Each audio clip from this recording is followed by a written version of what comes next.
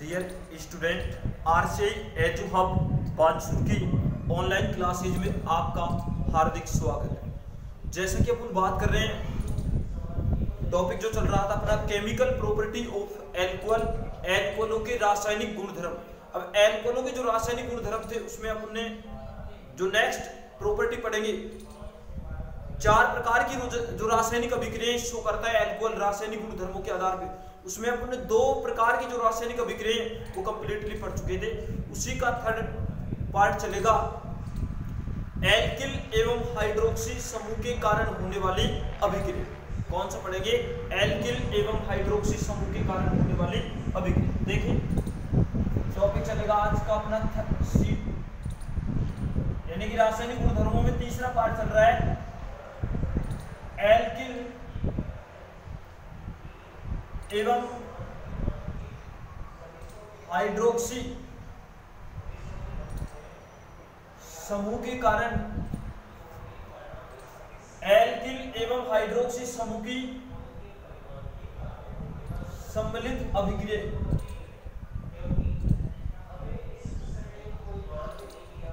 जिसमें आप पहली पार्ट की बात करेंगे, इसके अंदर सांद्र H2SO4 के साथ अभिक्रिया। तो सांद्र H2SO4 के साथ जो अभिक्रिया करवाएँगे, वो कहलाएगा डिहाइड्रेशन रिएक्शन यानी कि एक प्रकार का निर्जलीकरण अभिक्रिया कहलाएगी। तो देखिए यहाँ पे फ़र्स्ट इसमें पढ़ रहे हैं सांद्र H2SO4 के साथ अभिक्रिया। सांद्र H2S4 के साथ अभिक्रिया। उसे क्या बोलते हैं? निर्जलीकरण। यानी उसी का नाम क्या होगा? डिहाइड्रेशन यानी कि निर्जलीकरण। यानी होता क्या है कि जो एल्कोहल होते हैं, उन एल्कोहलों का जो निर्जलीकरण है, वो दो प्रकार से किया जाता है। एक तो होता है अंतरा अणुक निर्जलीकरण और दूसरा होता है अंत्य अणुक निर्जलीकरण। तो यहाँ पे एक तो हो गया इंटर और दूसरा क्या हो गया? इंट्रा। तो अंतरा का मतलब क्या हो जाएगा?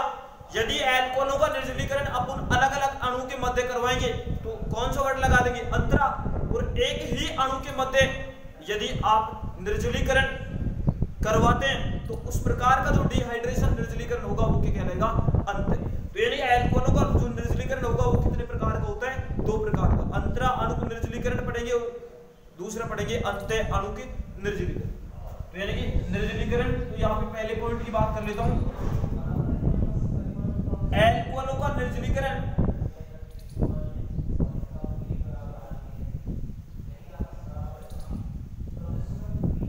दो प्रकार से होता है। एल्कोहलों का जो निर्जलीकरण है वो कितने प्रकार से होता है? दो प्रकार से।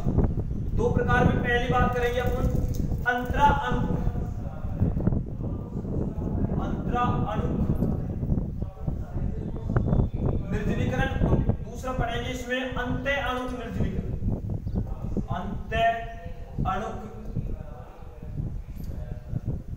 निर्जलीकरण। तो डियर स्टूडेंट एल्कोहलों का जो निर्जलीकरण है वो कितने प्रकार का होगा? दो प्रकार का। अंतरा अणुक निर्जलीकरण और अंत्य अणुक निर्जलीकरण। अंतरा का मतलब है अलग अलग अणु के मध्य यदि निर्जलीकरण होता है तो क्या कहलाएगा आपका? अंतरा। और एक ही अणु के मध्य संपन्न करवाएँगे तो क्या कहलाएगा आपका? अंत्य अणुक डिहाइड्रेशन तो पहली बात कर लेता हूँ। अंतरा अणुक निर्जलीकरण इसमें पहला पॉइंट कौन सा पढ़ रहे हैं? अंतरा अणुक। निर्जलीकरण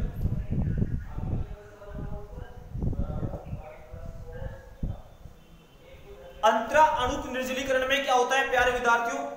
कि एल्कोहल के दो अणु होते हैं। एल्कोहल जो होगा, क्योंकि अलग अलग अणु लेंगे अलग अलग अणु के मध्य संपन्न होगा तो क्या कहलाएगा आपका? अंतराणु तो एल्कोहल के दो अलग अणुओं के मध्य, यानी एल्कोहल के जो दो अणु हैं, उनको सांद्र H2SO4 की उपस्थिति में, यदि आप 413 केल्विन ताप के ऊपर क्या कर दें, इसको गर्म कर दें तो किसका निर्माण हो जाएगा? डाई एथिल ईथर का निर्माण हो जाता है। और कंसंट्रेट H2SO4 यहाँ से क्या कर देगा? स्मॉल अणु के रूप में जल के अणु को बाहर निकाल देगा। और जल के अणु का बाहर निकलना ही क्या कहलाता है? डिहाइड्रेशन निर्जलीकरण कहलाता है। तो आप निर्जलीकरण क्या है? निर्जलीकरण का मतलब है स्मॉल अणु के रूप में जल के अणु का बाहर होना, वही क्या कहलाता है आपका? निर्जलीकरण। तो यानी कि यहाँ पे अंतरा में तो अभिक्रिया सांद्र H2SO4 की उपस्थिति में 413 केल्विन पे करवाएँगे तो क्या बनेगा? डाई एथिल ईथर और अंत्य अणु निर्जलीकरण जो होगा, वो भी सांद्र H2SO4 की उपस्थिति में ही संपन्न होगा। लेकिन वहाँ पे तापमान का जो मान है, वो 433 से 443 केल्विन के मध्य करवाएँगे तो वहाँ पे किसका निर्माण हो जाएगा? एल्कीन का निर्माण होता है। तो यहाँ से ध्यान रखने योग्य बात क्या होगी डियर स्टूडेंट अगर यदि आपने अंतरा अणु निर्जलीकरण करवाया है तो यहाँ से डाइएथिल ईथर का फॉर्मेशन होता है, और अंत्य अणु निर्जलीकरण करवाया है तो किसका निर्माण होगा यहाँ से? एल्किन का। कंसंट्रेट H2SO4 जो होगा, यहाँ पे क्या होगा? डिहाइड्रेटिंग एजेंट के रूप में होगा निर्जली कारक के रूप में होगा, लेकिन वहाँ पे यदि डाइएथिल ईथर फॉर्मेशन करना है तो तापमान कितना यूज़ करना पड़ेगा? 413 और एल्किन बनानी है तो तापमान कितना लेना पड़ेगा आपको? 433 से 443 तो देखें यहाँ पे अंतरा अणु निर्जलीकरण में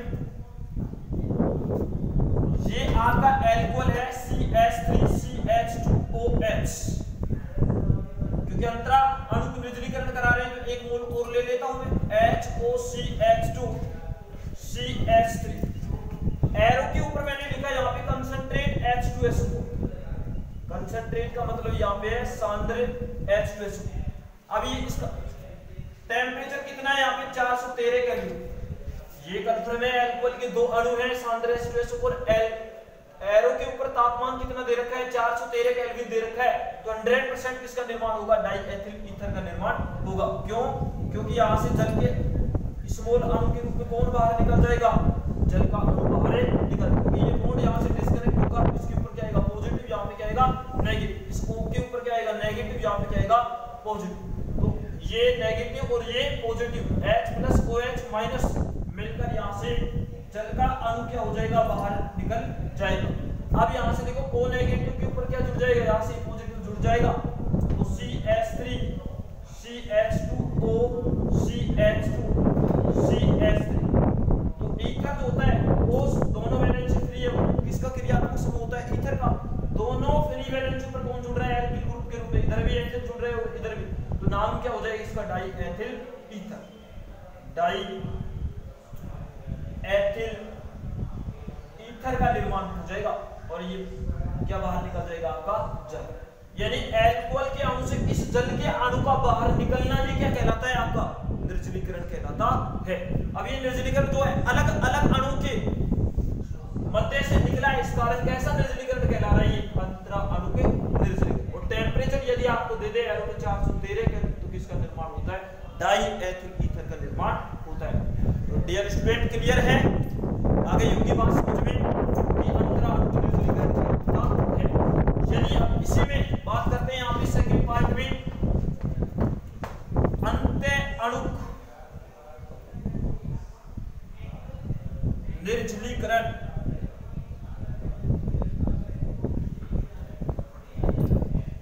अंत्य अणु के निर्जलीकरण अब अंत्य अणु निर्जलीकरण में क्या होगा भाई एल्कोहल का एक अणु के मध्य ही होगा तापमान कितना होगा? 433 से 443 के रेट डिहाइड्रेटिंग एजेंट निर्जली कारक कौन होगा वही कंसंट्रेट H2SO4 क्या बन जाएगा यहाँ से। एल्कीन का निर्माण हो जाता है। देखिए यहाँ से किस प्रकार होता है एग्जांपल के रूप में। मैंने यहाँ से लिखा, ये आपका C H2OH यानी एथिल एल्कोहल है मैंने इसको CH2H सिंगल बॉन्ड H लिख दिया है खोल के यहाँ से क्या होगा? एरो के ऊपर वही कंसंट्रेट H2SO4 लिख रखा है।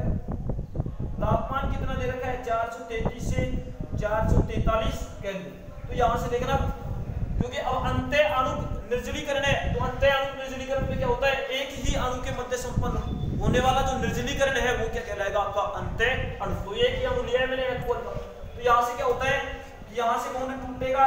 इस OH पे क्या आएगा? नेगेटिव इस कार्बन पे क्या आएगा? पॉजिटिव अब ये या पॉजिटिव स्टेबल होने के लिए यहाँ से बॉन्ड तोड़ेगा, यहाँ पे क्या आएगा? नेगेटिव यहाँ पे क्या आएगा? पॉजिटिव देखो, H पॉजिटिव यहाँ का OH नेगेटिव तो H प्लस OH माइनस बाहर कौन निकल जाएगा वाटर मॉलिक्यूल बाहर निकल जाएगा। क्योंकि आपको पता है, निर्जलीकरण का मतलब ही क्या होता है कि जल के अणु का बाहर निकलना ही क्या कहलाता है? निर्जलीकरण. तो देखो, यहाँ पे माइनस और ये क्या है आपका? प्लस प्लस और माइनस के बीच में किसका निर्माण हो जाएगा?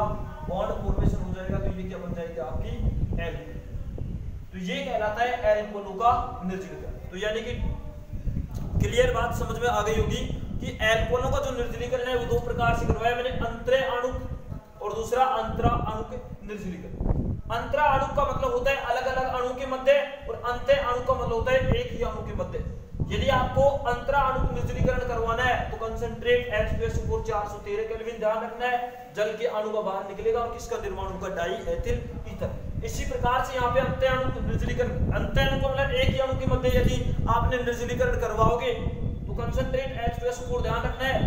और यहाँ से 433 से 443 केल्विन ताप के मध्य रिएक्शन करवाएँगे तो यहाँ से किसका निर्माण हो जाएगा? एल्कीन का निर्माण हो जाता है। ये कहलाता है एल्कोहलों का निर्जलीकरण। अब ये जो एल्कोहलों का जो निर्जलीकरण है, इस निर्जलीकरण के अंतर्गत अपन तीन पदों का उल्लेख करते हैं। यानी एल्कोहलों का जो निर्जलीकरण है कितने पदों में संपन्न होता है? तीन पदों में। तो यहाँ पे मैकेनिज्म की बात कर रहे हैं, यहाँ पे क्रियाविधि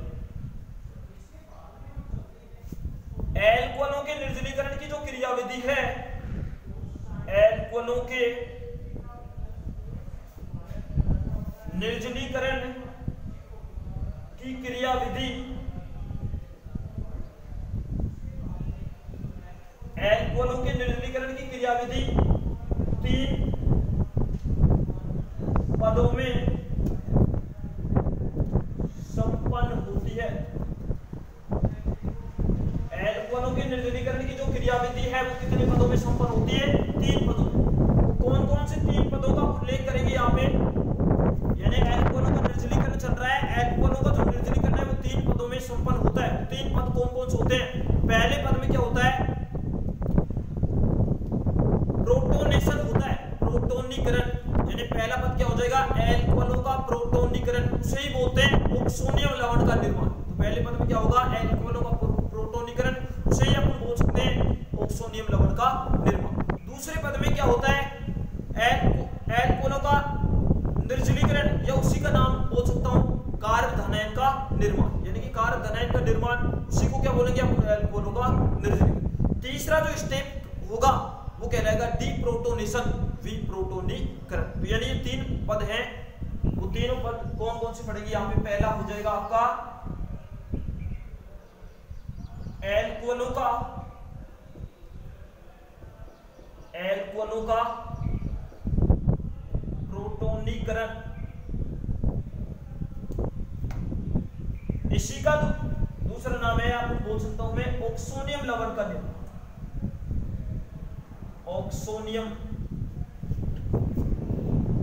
लवण का निर्माण एल्कोहलों का प्रोटोनियम ऑक्सोनियम लवण का निर्माण दूसरा जो पद होगा, ये जो स्टेप फ़र्स्ट हो जाएगा। सेकंड जो स्टेप होगा, वो होगा कार्ब धनयन का निर्माण कार्ब धनयन का निर्माण उसी को बोल सकते हैं अपन, निर्जलीकरण। उसी का दूसरा नाम क्या है? निर्जलीकरण डिहाइड्रेशन तीसरा जो पद होगा आपका, वो होगा विप्रोटोनीकरण। प्रोटोनीकरण। तो यानी के जो निर्जलीकरण की जो क्रियाविधि है, वो तीन पदों के अंदर संपन्न होगी। पहला जो पद होगा, वो कौन सा हो जाएगा? एल्कोहलों का प्रोटोनीकरण, या उसी का नाम है ऑक्सोनियम लवण का निर्माण। दूसरा जो होगा कारक धनायन का निर्माण, उसे बोलते हैं निर्जलीकरण तीसरा जो पद होगा, वो होगा बी प्रोटोनीकरण तो यहाँ से यही है एल्किलिन हाइड्रोक्सी समूह की जो सम्मिलित अभिक्रिया चल रही थी सांद्र H2SO4 के साथ अभिक्रिया, उसी का नाम क्या है? निर्जलीकरण तो एल्कोहलों का जो निर्जलीकरण है, वो कितने प्रकार से होता है?